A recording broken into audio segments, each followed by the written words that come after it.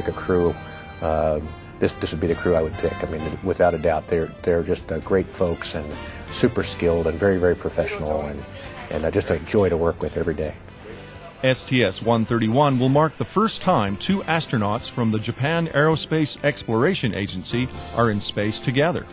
Mission Specialist Naoko Yamazaki and Expedition 23 flight engineer Soichi Noguchi will meet up aboard the ISS. This is a very big step for Japan. Of course, for the as, uh, American astronaut, it is usual. However, for the Japanese astronaut, it is the first time to get together in space. And Soichi and I are scheduled to do uh, several tasks together, like uh, experiment rack transfer and installation of the space station. So we are looking forward to working with each other. And we are also looking forward to sharing some Japanese cultures among the crew members. Okay, maneuver started. Copy.